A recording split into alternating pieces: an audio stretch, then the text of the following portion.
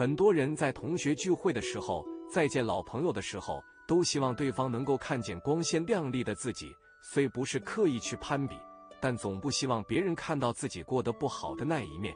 这不是虚荣心作怪，而是每个人都有想要过得更好的欲望和本能。尤其是女人，当岁月流逝，自己身上的沧桑感越来越浓时，也代表着其实自己过得并不好。也许为了生计疲于奔波，也许陷入到不可调解的复杂家庭关系中。一个人过得好不好，看这几个地方就明白了。藏不住，读国学经典，悟人生智慧。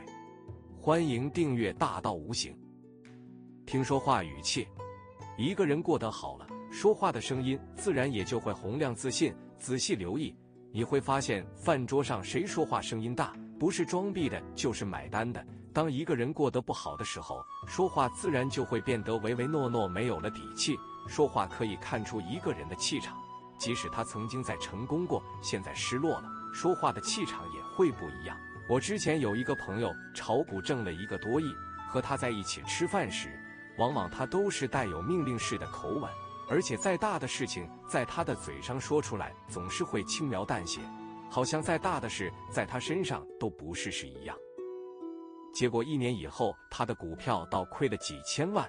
此时再看他说话时，言语间却总带着询问的语气，这就是变化。为什么？因为自己没有底气了，曾经那种傲慢自信的资本没有了，取而代之的反而是更加的平易近人。所以做人不能太狂，人狂有祸，天狂有雨。但是做人在低调，说话间无形中透露出来的这种自信和傲娇，还是会显而易见的。所以看一个人混得好不好，听他说话就能看出十有八九。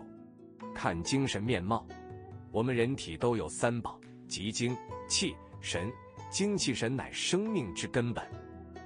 是维持人体生命活动的三大要素。身体内部的精气神能通过表面反映出来，你的面色、精神、气质等整体形象都会表露无遗。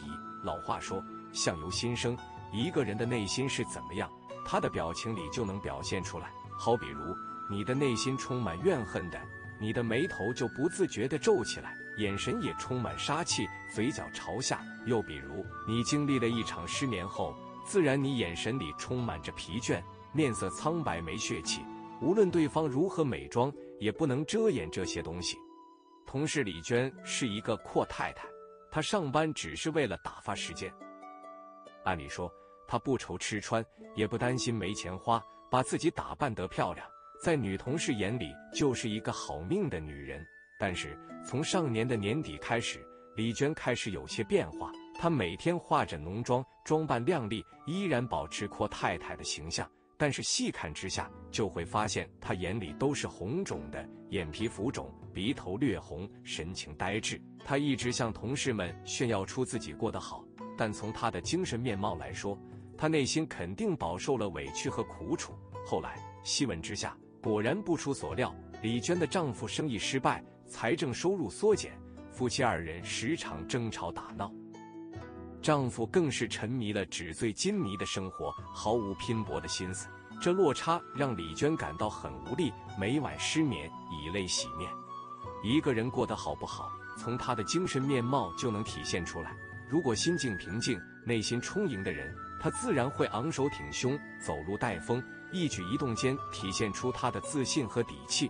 如果他内心充满疲倦和累气，他只会表现出慵懒颓废，做任何事都提不起劲来，精神面貌是无法用化妆品掩饰的，一眼就能看得得出他是否过得顺心顺意。家庭的环境，习惯说当中说到：“一事之不治，何以天下家国为？”这就是一屋不扫，何以扫天下这句话的由来，说得非常有道理。如果一个人家里的环境是杂物满地堆，到处乱七八糟，连下脚的地方都没有，这样的人，他的生活肯定也是过得不如意。为什么会这样说？因为屋子不干净整洁，这本身就是一种晦气。试问，身在这样的环境当中，哪个人的心情会好呢？其次，这也代表这个人的生活习惯非常不自律、不讲究。一个不自律。不讲究，心情又整天不好的人，能把事情做好，那是才怪事。所以，想要改变自己的生活状况，让自己的生活过得更加的有质量。一个整洁、干净的居住环境是非常重要的，因为在家里的时间会比自己工作的时间会更长。家是放松的地方，如果家都不能让自己得到彻底的放松，这种情况下自己的工作又怎么能干得好呢？所以说，通过一个家庭的环境可以看出一个人的生活状况，看生活品质。一个人过得好不好，他的生活会彻底展现出来。一个人如果过得很好，日常的穿搭都会很有品味，整个人也会很自信。不仅有精致的穿搭，还会有容光焕发、十分精神的一面。过得好的人对自己的生活品质有要求，也许所用的东西不是最昂贵的，但是却是他觉得用起来最为舒适的。一个人过得好不好？还会从心态、事业、教养、眼界以及学识中体现出来。一个人过得好，事业稳定，心态好，有良好的教养以及宽阔的眼界和丰富的学识。因为一个人过得好不好，就是他的综合能力的体现。生活品质越高的人，往往他的综合能力也越强。相反，一个人过得不好，也与他的心态、事业、教养和学识都脱不了干系。一个人过得不好，心态也不会太好，稍微有一些压力，便容易抱怨与放弃，事业得不到提升，生活品质自然也无法得到突破。看他的朋友圈，现在很多人都喜欢用朋友圈去记录自己的生活，但是很多时候，朋友圈所展现的往往是自己想要别人看到的生活状态，这样的模式非常明显。但是，你依然可以通过一些类别的朋友圈发现对方的生活状态，然后了解对方朋友圈背景下的生活。众所周知，人们对于自己得不到的东西会格外的欣赏，所以一些在朋友圈晒奢侈品的人，生活不见得过得好。如果他们的物质非常的充足，自然不屑于去向朋友炫耀这些东西。反而是因为自己没有拥有、没有底气，才会用炫耀奢侈品来满足自己的虚荣心，给人塑造不一样的感觉。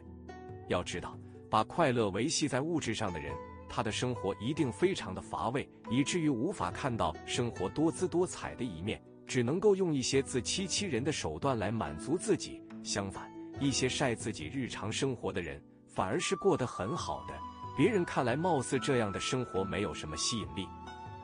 但是对于他们来说，此刻的状态是最好的，也是最享受的，而且对于眼前所拥有的一切都是抱着感恩的态度，自然会想要把点滴生活分享出来，不是向别人炫耀，是用这样的方式来记录自己的快乐。所以，一个生活的好不好，没有办法隐藏，总是会暴露出来的。生活中，一个人过得好不好，一眼能看出来。苏平仲文集中写道：“相由心生。”一个人外表表现出来的状态，其实就是内心的真实写照。如果一个人总是逢人就说丧气的话，从他的话语中就能听到很多负面的能量，那么他的生活大多是苦闷的。如果一个人舍不得花钱，在钱的方面斤斤计较，在买必需品时总是犹犹豫豫，表现出一副很无奈的样子，这样的人生活大抵艰难。生活的细节。总是会将一个人内心的感知反映出来。过得好的人，对待生活总是充满了热情，遇到困难总是能迎难而上，在风雨中能不断强大自己，让自己过上更好的生活。读国学经典，悟人生智慧。欢迎订阅《大道无形》，